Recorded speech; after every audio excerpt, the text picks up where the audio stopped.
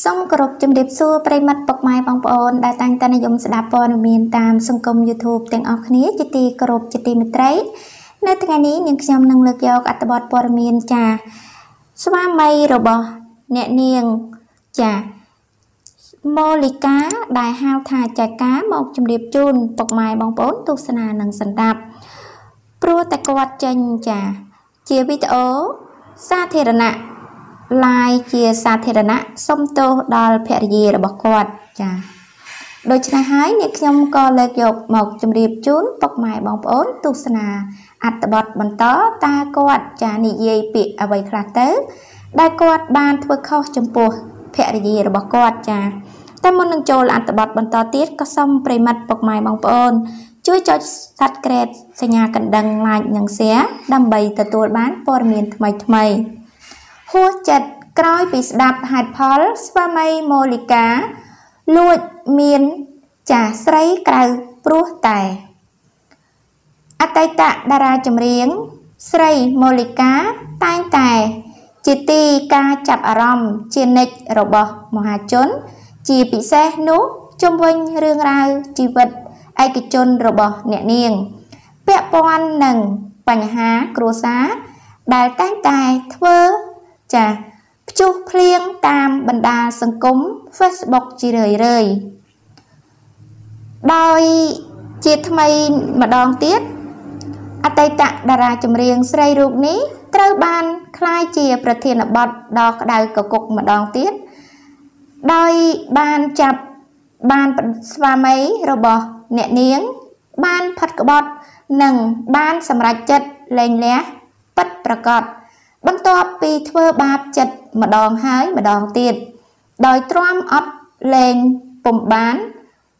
ដោយនាងចិត្តពោះចាកំពុងតែពោះធំចិត្តគ្រប់ខែផងនោះ ក្នុងនោះផងដែរស្វាមីរបស់អ្នកនាងម៉ូលីកាបានធ្វើរឿងដ៏គួរឲ្យភ្ញាក់ផ្អើលមួយដោយបានកាន់នំខេកនិងសារភាព អំពីកំហុសឆ្គងរបស់ខ្លួន ដែលបានប្រព្រឹត្តកន្លងទៅនឹងមិនធ្វើឲ្យមានកំហុសជាទី2ឬទី3ទៀតទេ តែយ៉ាងណាមិញនាងមិនទាន់ទទួលយកការសំទោសនិងព្រមអភ័យទោសដល់ស្វាមីរបស់នាងនៅឡើយ ជាក់ស្ដែងកាលពីយប់មិញនេះស្វាមីរបស់អ្នកនាង ចា គឺលោកហុងម៉ាណុនបាន live ក្នុង Facebook នៅលើ page ផ្ទាល់បានធ្វើការសំទោសជាសាធារណៈទៅកាន់ប្រពន្ធដោយបានចាថាប្រលែងប្រព្រឹត្តខុសចំពោះចាប្រពន្ធទៀតហើយហើយក៏ព្រោះតែភាពឆេវឆាវមួយពេលហើយក៏ជាចំណងរបស់មនុស្ស ប្រុសដែលគ្រាន់តែលោករកសបាយតែមួយពេលខណៈដែលប្រពន្ធរបស់លោកកំពុងតែពោពោះมันអាចធ្វើអ្វីបាន តែប៉ុណ្ណោះម្យ៉ាងវិញទៀតលោកមិនមែនចាផាត់ក្បត់ប្រពន្ធនោះទេ មានជនទី3នោះទេ ទាំងនេះបើយោងតាមសម្ដី ស្វាមីរបស់តារារូបនេះ